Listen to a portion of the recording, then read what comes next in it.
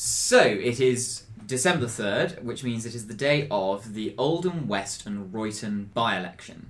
The Labour Party held the seat back in May in the general election with a majority of 14,738. Would you care to guess how big a majority Labour are expecting this time round?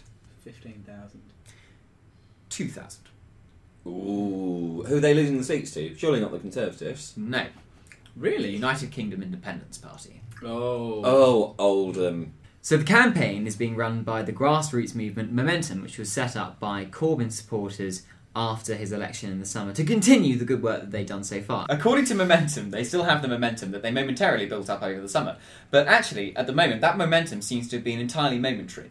The people of Oldham are finding Jeremy Corbyn a very difficult prospect to take. They particularly did not like his original comments on shoot to kill. Basically, they're blaming Jeremy Corbyn for the close run seat that they're going to be losing or Uh, winning. Yeah, but I- let's let's not lose sight of the fact that by the looks of things, they're going to lose thirteen thousand votes. And they're using Jeremy Corbyn as a scapegoat for that. What's the major thing that's changed in Labour? Oh, it since- couldn't possibly in- that everyone's revolting on the leader of the party. It couldn't be possibly a non-confidence in the party itself. Is maybe if people stop backstabbing him, then he might be able to actually talk without being scrutinised. It is difficult to talk when you're being backstabbed because all the air gets forced out of you.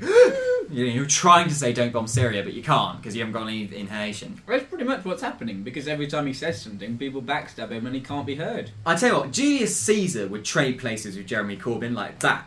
God. Do you know what? I agree with Joe. Oh, oh my god.